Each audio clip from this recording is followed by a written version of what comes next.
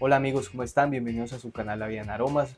Eh, quiero contarles en este video, como ya lo vieron en la miniatura, eh, visité una tienda Sara física y vi una cajita que me trajo un recuerdo muy bonito cuando estaba mucho más jovencito, alrededor de los 19, 20 años.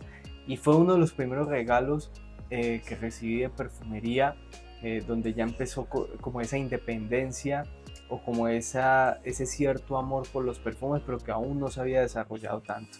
Y eh, yo sé que muchos de ustedes conocen esta cajita, conocen esta fragancia. Aquí se las muestro por si no la han visto hace mucho tiempo para que se vayan eh, familiarizando y les dé algo de nostalgia.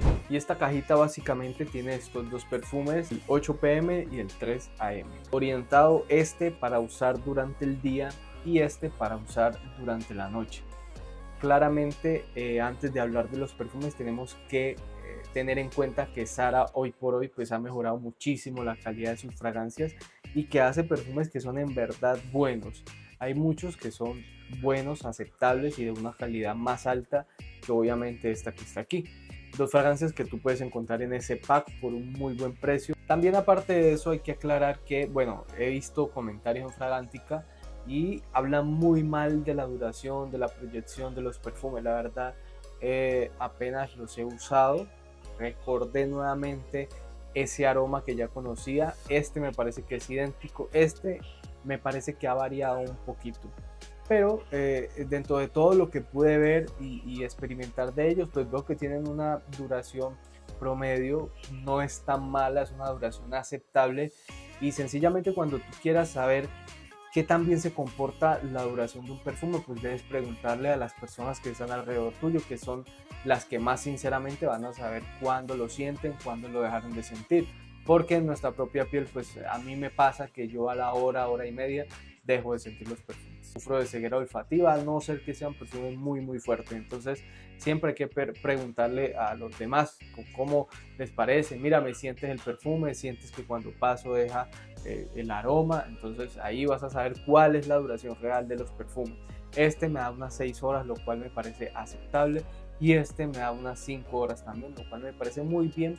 Eh, obviamente yo me meto unos 15, 16, 18 gatillazos para que la fragancia aguante y también uso en ropa. Y vamos a empezar con 8 pm, una fragancia claramente que es eh, un tipo Invictus, pero aquí encontramos un tipo Invictus diferente. Bueno, hay que aclarar que Sara tiene yo creo que más de 15 fragancias que se asemejan a Invictus y tienen como ese ADN plasmado en muchísimas fragancias que, mejor dicho, han inundado el mercado.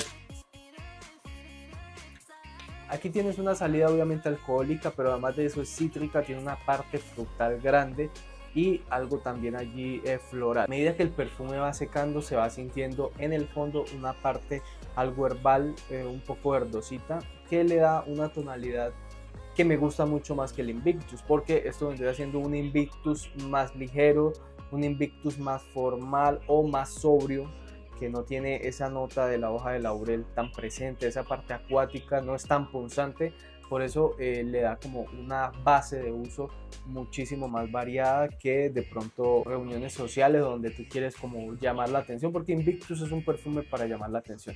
Esto es mucho más formal, mucho más para trabajar, para el día a día, en el fondo se siente más cítrico, entonces eh, está, como te decía, aligerado por esos cítricos y unas notas florales que son en verdad muy buenas. Como les hablaba, la duración me parece decente, 6 horas creo que es súper bien. Yo me la he hecho a las 7 y media de la mañana, vuelvo al mediodía, cuando antes de irme me doy unas 5 atomizadas, el perfume vuelve y vive y eso te va a dar un aguante mucho más largo. Entonces vas a tener doble jornada por un perfume que es muy, muy, muy económico y que lo vas a encontrar absolutamente, yo creo que en casi todas las tiendas de Sara. Eh, este es creo que de las primeras fragancias de Sara, la conocí hace muchísimo tiempo y bueno, además me trajo recuerdos de aquella época cuando era más joven. Entonces, eh, eso es el 8 pm, me parece que vale totalmente la pena, son perfumes ideales para regalar a alguien cuando no te quieres complicar mucho, además porque le vas a dejar eh, dos tipos de uso, ¿no? el diurno y el nocturno. Y sigamos con 3 am. Esto es un perfume más frutal, aquí hay una base más oscurita. ¡Wow! Este es un perfume mucho más delicioso Esta es una fragancia más frutal, tiene una carga de piña jugosa, dulce, como recién pelada, pero muy madura, deliciosa, eh, como ambarada, muy, muy conquistadora, muy carnosa, que te dan como ganas de morder el perfume. Es una fragancia muy rica. En su base tiene ámbar, tiene vainilla, que esto le da como ese dulce medio oscurito. Muchas, muchas frutas. Manzana también es un ponche como de manzana verde. Piña es muy dulcecita.